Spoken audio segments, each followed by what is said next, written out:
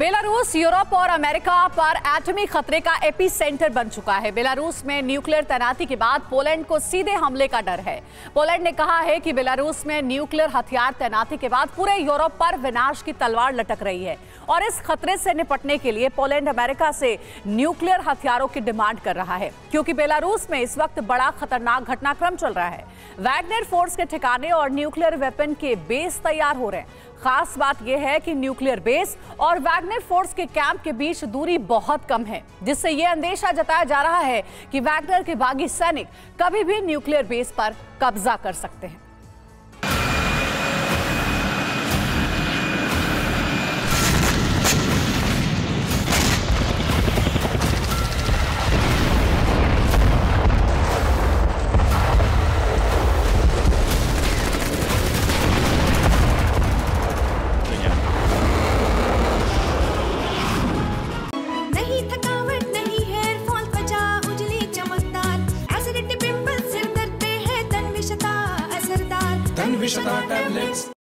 युद्ध अगर सीधे एक देश से हो तो सामना प्रोफेशनल सेना से होता है। लेकिन प्रॉक्सी वॉर यानी छद्म युद्ध में कब क्या हो जाए, ये कोई नहीं जानता।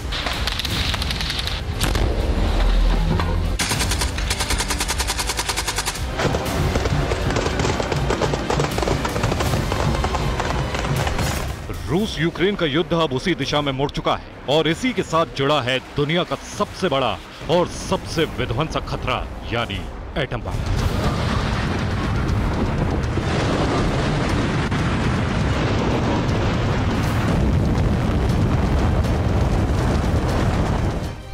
क्योंकि बेलारूस की ज़मीन पर वैगनर चीफ के हाथ एटमी हथियारों का कंट्रोल आने वाला है।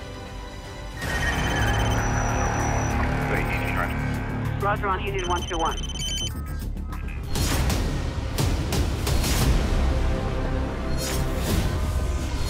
इस एक खबर ने पूरे यूरोप में आतंक फैला दिया है बेलारूस के पड़ोसी देशों को डर है कि उनके ऊपर कभी भी सीधा न्यूक्लियर हमला हो सकता है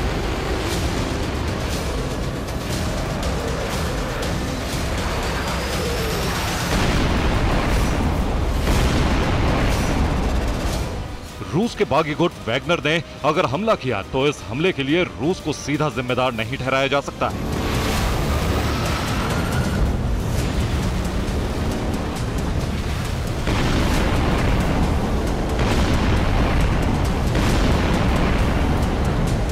इसीलिए बेलारूस के पड़ोसी देश काउंटर अटैक की तैयारी कर रहे हैं।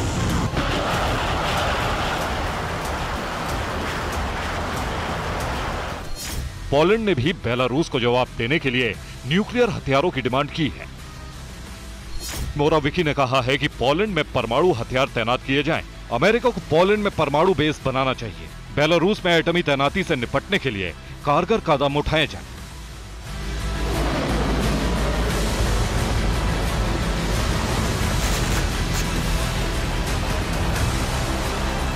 हालाँकि पहले से ही अंदेशा है कि पोलैंड की ज़मीन पर अमेरिका न्यूक्लियर बेस बना चुका है। रूस बेलारूस की तर्ज पर अमेरिका और पोलैंड के बीच परमाणु हथियार तैनाती का समझौता होता है। तो यूरोप में न्यूक्लियर खतरा और ज़्यादा बढ़ जाएगा।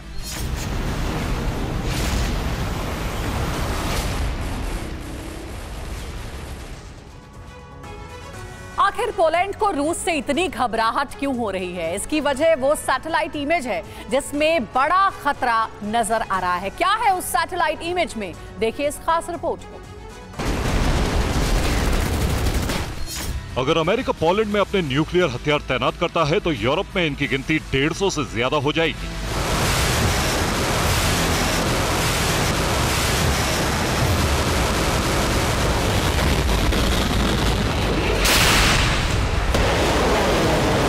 पोलैंड ने न्यूक्लियर हथियारों की डिमांड की है तो उसके पीछे वजह है बेलारूस और वैगनर प्रमुख प्रिगोजिन का गठजोड़। बेलारूस में जारी गतिविधियों की सैटेलाइट इमेजेस जारी होने के बाद खतरे को भापते हुए ही पोलैंड ने अमेरिका से nuclear base practical support building और तीन क्लाइमेट कंट्रोल बंकर दिखाई दे रहे हैं और उनके पास ही मिसाइल लॉन्चर और सपोर्ट व्हीकल के शेल्टर दिखाई दे रहे हैं।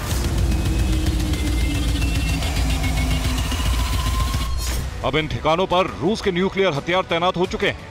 इनकी सुरक्षा बढ़ाई जा रही और सैन्य क्षमता के हिसाब से अपग्रेड किया जा रहा है। बेलारूस में न्यूक्लियर तैनाती का खतरा तो है ही, लेकिन उससे भी बड़ा खतरा है पीएमसी वैगनर।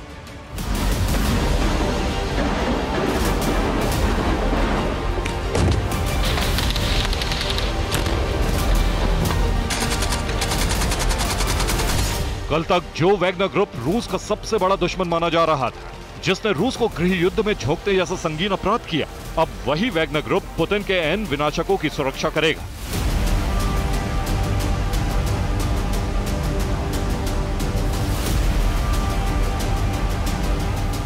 इतना ही नहीं, आशंका तो यह भी जताई जा रही है कि आने वाले वक्त में यूक्रेन पर न्यूक्लियर अटैक भी वैगनर ग्रुप ही करेगा।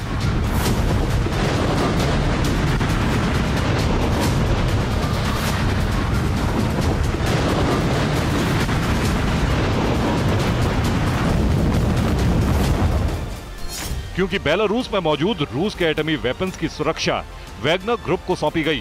बेलारूस के न्यूक सेंटर पर वैगनर लड़ाकों की तैनाती होगी।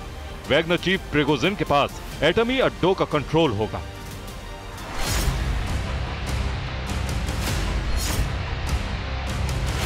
बेलारूस के प्रेसिडेंट एलेक्जेंडर लुकाशेंको 27 जून को ही ऐलान कर चुके हैं कि परमाणु ठिकानों की सिक्योरिटी वैगनर ग्रुप के पास होगी।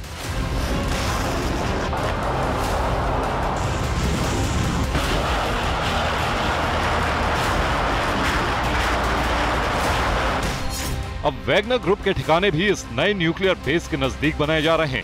ये तस्वीरें बेलारूस से आई हैं। अमेरिकन इंटेलिजेंस के मुताबिक यहाँ वैगनर ग्रुप के फाइटर्स को तैनात किया जाएगा।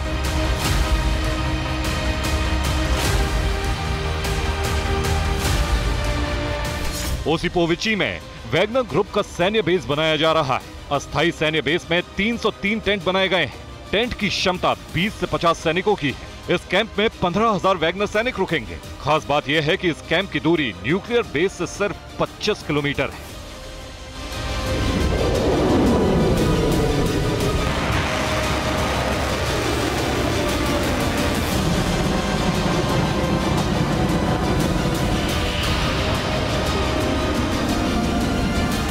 साथ ही वैगनर लड़ाके बेलारूस की सेना को जंग लड़ने की ट्रेनिंग भी देंगे। लुकाशेंको ने खुद वैगनर की तारीफ़ करते हुए इसका ऐलान किया है। न्यूक्लियर बेस का रिमोट कंट्रोल एक तरह से वैगनर ग्रुप को मिलने वाला है। दुनिया की सबसे खतरनाक प्राइवेट आर्मी को दुनिया का सबसे विध्वंसक हथियार मिलना ही पूरे यूरोप के लिए महाविनाश का अलाम है।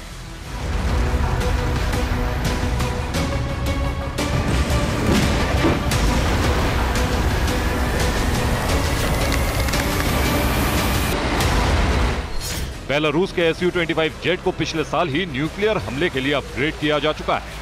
इसके मिसाइलें तैनात हो चुकी हैं। इसीलिए पोलैंड कह रहा है कि यूरोप में न्यूक्लियर विनाश का बवंडर कभी भी शुरू हो सकता है।